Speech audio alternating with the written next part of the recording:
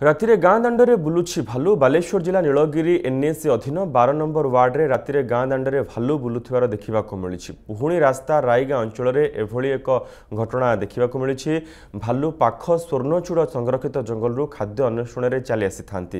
ତେବେ ଗୋଟିଏ ବଡ଼ ଭାଲୁ ରାଇଗାଁ ଗାଁ ରାସ୍ତାରେ ବୁଲୁଥିବା ବେଳେ ବାହାରୁ ଆସୁଥିବା ଲୋକେ ଦୀର୍ଘ ସମୟ ଧରି ଭୟରେ ଗାଁ ଭିତରକୁ ଯାଇପାରିନଥିଲେ ଭାଲୁଟି ବେଶ୍ କିଛି ସମୟ ଧରି ରାସ୍ତା ଉପରେ ରହିଥିଲା।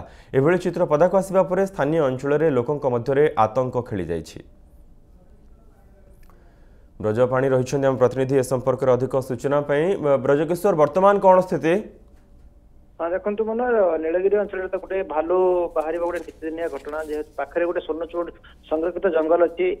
ଏଠାରେ ପାଖାପାଖି ପାଞ୍ଚଶହରୁ ଉର୍ଦ୍ଧ୍ୱ ଭାଲୁ ରହିଛନ୍ତି। ଯେହେତୁ ଏଇ ଯୋଉ ସ୍ୱର୍ଣ୍ଣଚୂଡ଼ର ଆଖପାଖ ଗାଁକୁ ଭାଲୁ ପ୍ରତ୍ୟେକ ଦିନ ବସୁଛନ୍ତି ଏବଂ ଗତକାଲି ଯାହା ଦେଖାଯାଇଥିଲା ଯେ ଖାଲି ଗତକାଲି ନୁହେଁ ପାଖାପାଖି ଏଇ ଭାଲୁଟି ପ୍ରତ୍ୟେକ ଗାଁକୁ ପଶୁଛି।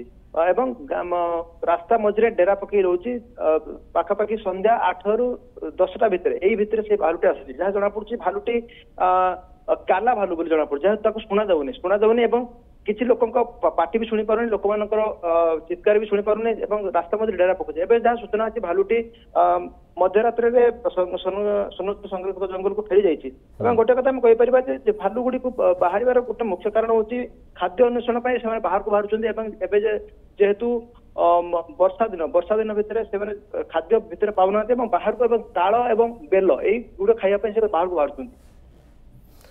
ବହୁତ ବହୁତ ଧନ୍ୟବାଦ ବ୍ରଜକିଶୋର ଏ ସମସ୍ତ ସୂଚନା ପାଇଁ।